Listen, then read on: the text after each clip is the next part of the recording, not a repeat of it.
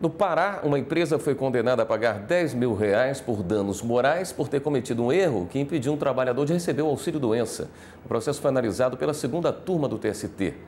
Quem tem mais informações sobre o assunto é o repórter Alexandre Matula. Boa noite, Matula. Boa noite, William. Boa noite a todos. Pois é, esse trabalhador era um motorista que se afastou da empresa onde trabalhava para um tratamento de saúde. Só que durante o período de afastamento ele não recebeu o auxílio doença do INSS. Isso porque a empresa mandou os dados de outro trabalhador para o Instituto Nacional de Seguridade Social. Por esse erro, por esse equívoco, a empresa foi condenada pela Vara do Trabalho de Marabá, no Pará, a pagar uma indenização a esse trabalhador no valor de 10 mil reais.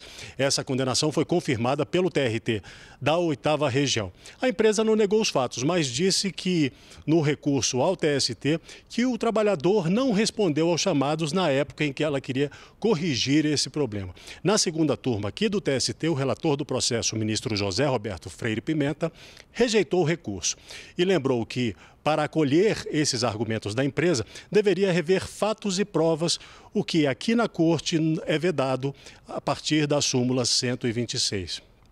A decisão foi unânime, a indenização está mantida, mas a empresa ainda pode recorrer. É com você, William. Obrigado, Matula.